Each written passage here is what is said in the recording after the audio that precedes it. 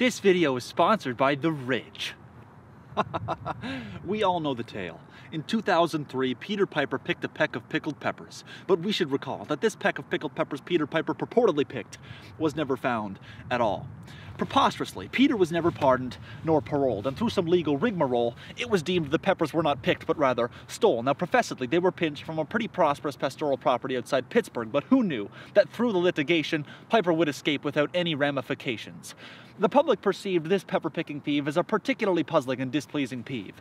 The pain plagued the population, plus the media tainted and stained his reputation and awakened disdain in every Pennsylvanian within an 80-mile radius, but like most places these people go through phases, so eventually the distaste and hatred for this raider faded. Nevertheless, Peter had fled undisguised. He decided instead to look inside. He was compromised, sure, but for a long time he was idolized. Many admired his idle eyes, fixed they were on his redemption prize. He became stoic, focused and devoted to retrieve what was stolen, his vivacity, his vim, his get up and go, the zest that pressed him to go out on his own.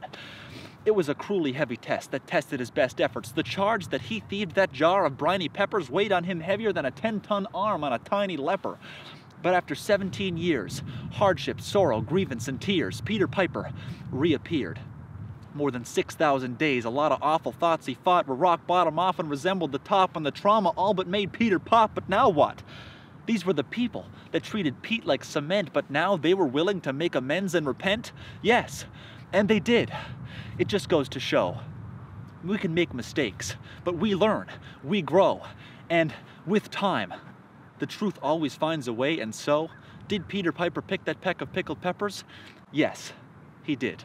And he also killed like three people on the way out of town. He's a seriously dangerous criminal.